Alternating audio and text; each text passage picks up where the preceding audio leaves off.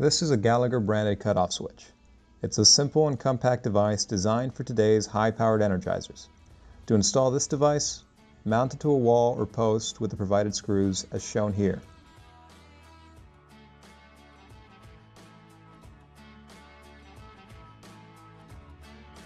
You can remove the bottom screw and mount a wire guard to minimize any risk of electrocution from handling the cutoff switch. This cutoff switch is also advertised to be 100% dirt resistant. You can get yours today at redstonesupply.com.